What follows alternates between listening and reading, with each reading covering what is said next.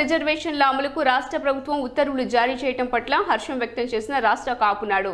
నేడు విజయవాడ గాంధీనగర్ కాపునాడు కార్యాలయంలో మహిళా అధ్యక్షురాలు పిళ్ళా శ్రీదేవి అధ్యక్షతన సమావేశం నిర్వహించారు.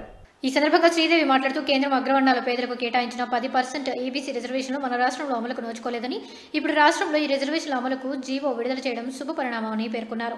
ఈ జీవో అమలు కోసం కాపునాడు రాష్ట్ర ప్రభుత్వానికి అనేక మార్లు వినతి పత్రాలు సమర్పించిన రాష్ట్ర కాపునాడు ప్రధాన కార్యదర్శి మేడిశెట్టి శేషగిరి గుర్తు చేశారు. అలాగే పెద్ద మనసుతో రాష్ట్ర కాపు తెలగ బలిజలకు ఐదు పర్సెంట్ ప్రత్యేక రిజర్వేషన్లు త్వరలో ప్రకటిస్తారని ఆశాభావాన్ని వ్యక్తం చేశారు. ఈ సమావేశంలో సూర్యనారాయణ లంక రాంబాబు ఆనంద్ శ్రీనివాసరావు రంగారావు తదితరులు పాల్గొన్నారు.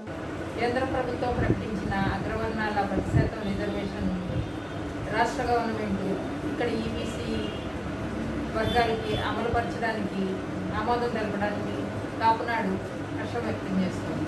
ఆంధ్రప్రదేశ్ కాపునాడు మహిళా వర్కింగ్ ప్రెసిడెంట్ జిల్లా శ్రీదేవి. గతంలో కేంద్ర ప్రభుత్వం ప్రకటించిన అగ్రవర్ణాల పది శాతం reservation state government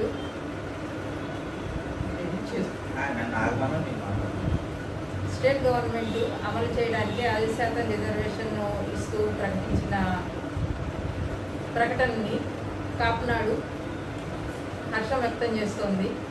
నూతన సంవత్సర కానుకగా గవర్నమెంట్ రిజర్వేషన్ని కాపులకు ప్రకటించిందని మేము అనుకుంటున్నాము ఆనందపడుతున్నాము తప్పింది ఆంధ్రప్రదేశ్ రాష్ట్ర కాపునాడు ప్రధాన కార్యదర్శి మేడిశెట్టి శాసగిరి వందనాలు.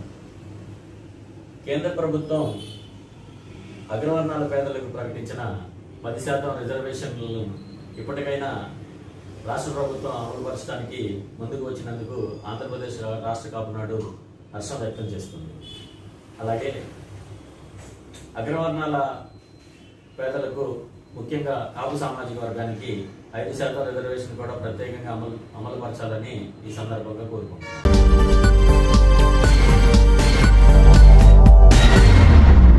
మరింత తాజా సమాచారం కోసం చూస్తూనే ఉండండి జేఎన్ఐ టుడే. సబ్స్క్రైబ్ చేయండి లైక్ చేయండి.